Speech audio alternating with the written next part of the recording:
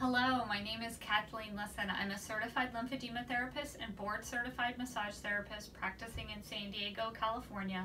We're at my studio in Pacific Beach right now. I am the author of the Lipedema Treatment Guide. Um, the paperback and the Amazon Kindle are available on Amazon now.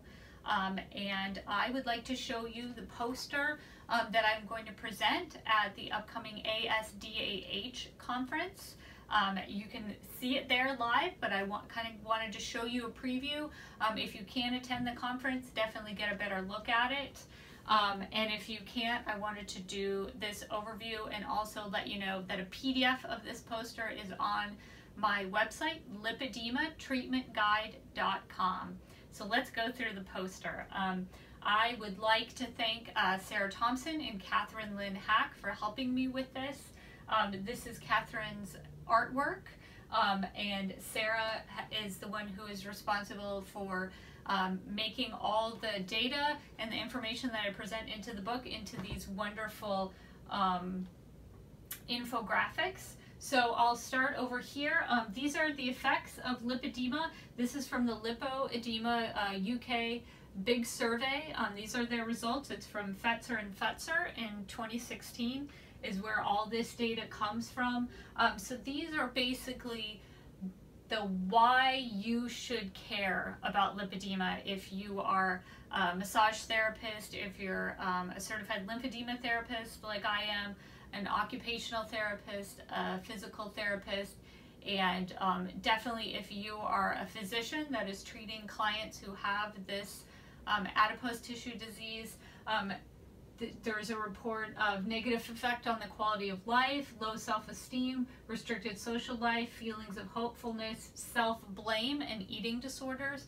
So this, the lipedema, um, will also have an important effect on how um, a dietitian or someone, health coach, someone who's into nutrition, um, these people who have this adipose tissue disorder may come to you, they may ask for help um, because as everyone knows, diets don't work. Weight loss diets do not work. They fail 95% of people.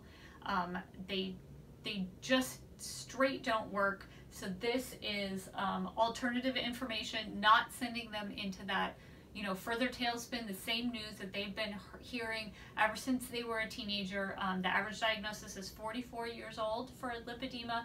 Ever since a teenager, what do we say in America with the diet culture? You know, oh, just lose weight, calories in, calories out.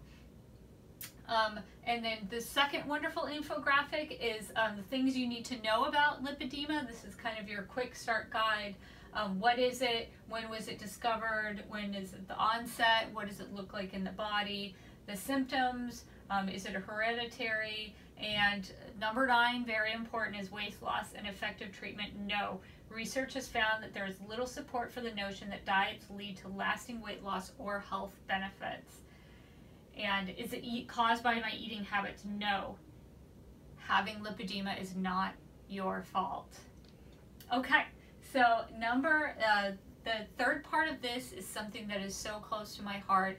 Um, my close friend and the artist who did um, the cover art and the art um, inside of this book, her name is Catherine Lynn Hack. She is um, a teacher and an artist. Her website is belovedbodies.com, and this is her personal story. She has a lipedema diagnosis. This is her personal story of how um, lipedema, just one day in her life, how it affected her. Um, and this, I hope, puts the human um, face on this disease, on this condition. And then this is um, one of my quotes.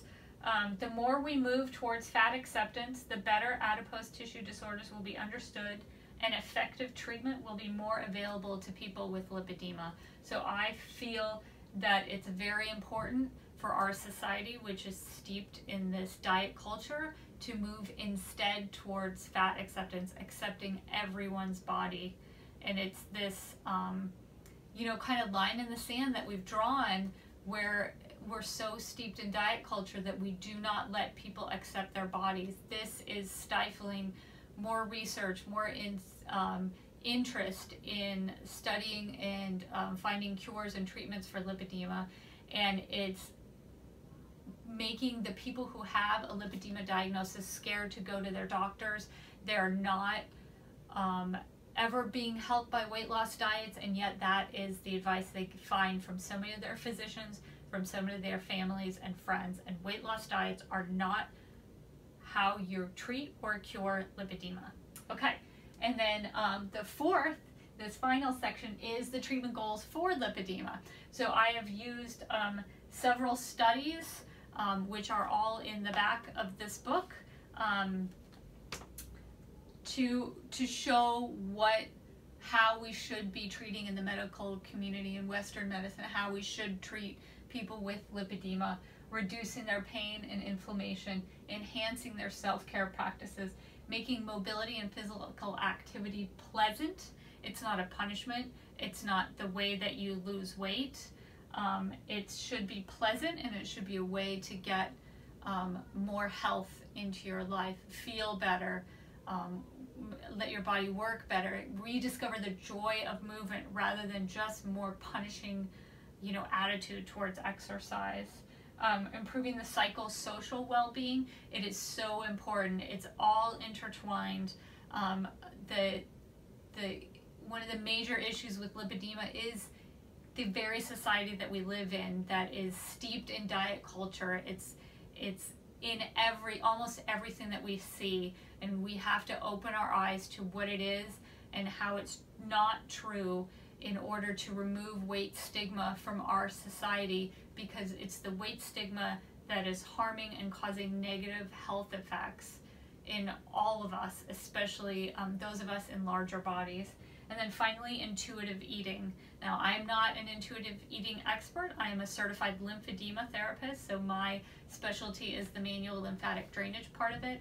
But I do have resources in San Diego, resources nationwide that I can find people, an expert who knows about intuitive eating to help them if they want to explore that. And then this is my um, list of what I want for the future for all of us. So how can we work together? And I'm looking for allies, I'm looking for co-conspirators. We need to increase awareness of lipedema and treatment options. We need to educate health coaches, dietitians, personal trainers, and other healthcare professionals on lipedema. We need to reduce fat stigma among healthcare professionals, the media, and the general public. We need to pass the Lymphedema Treatment Act in Congress. We need to encourage the depiction of a wider variety of bodies in art.